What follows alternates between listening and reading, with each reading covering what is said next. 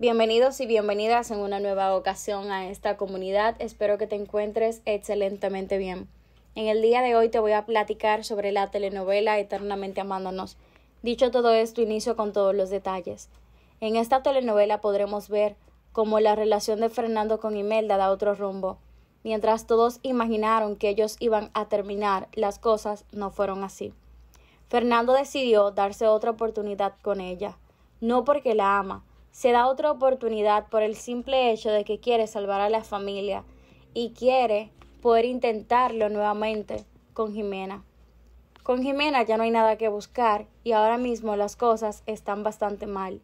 Jimena está súper triste, ella pensaba que su relación con este hombre iba a funcionar, pero lastimosamente no fue así.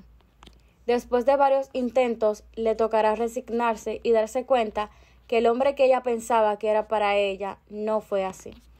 Veremos en esta telenovela cómo Imela comienza a burlarse del dolor ajeno de Jimena. Rogelio le va a pedir perdón a Ignacio.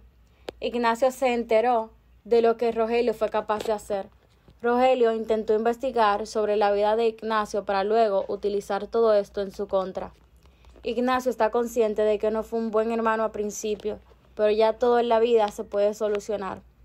Veremos también en la telenovela cómo Ulises le da a Paula una gran noticia. Y es que ella está bastante emocionada. Paula está emocionadísima por cumplir su sueño de ser una gran cantante, pero en ocasiones la vida le paga bastante mal. Y la vida de Paula corre grave peligro si sigue con planes de salir a la calle, pues su bebé está en reposo y ella necesita reposo absoluto, pero ella no lo está tomando. En esta telenovela muchas cosas pasarán. Me entristece ver cómo Jimena llora, mientras tanto Imelda se está riendo del dolor de ella. Me molesta ver cómo este hombre Fernando no tiene palabra y hace lo que los demás lo impulsen a hacer. Todo esto más estará pasando en la telenovela. ¿Qué te parece que Ignacio quiera hacer las paces con todos sus hermanos y que ahora no le importe nada de estos tipos de comentarios, pues ahora ha recapacitado y se ha enterado que ser una buena persona es lo ideal. Todo esto y más en la telenovela Eternamente Amándonos.